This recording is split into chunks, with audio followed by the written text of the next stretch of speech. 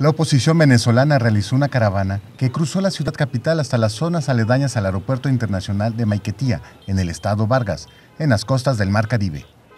Y estoy marchando por la libertad de mi país, la libertad de expresión, libre de inseguridad, beneficios y para un futuro mejor. Soy madre soltera y mi hija no ha tenido un buen futuro. La caravana fue encabezada por diputados opositores, quienes adelantaron que habrá nuevas acciones de calle. Mientras tanto, en Avenida Bolívar, en el centro de Caracas, se realizaron actividades recreativas y deportivas organizadas por el Ministerio de Deportes y la Alcaldía local. También se avaló el llamado a la Asamblea Constituyente realizado por el presidente Nicolás Maduro. Aquí no hay violencia, la violencia de la derecha. Y eso lo están haciendo para perjudicar al gobierno de Maduro.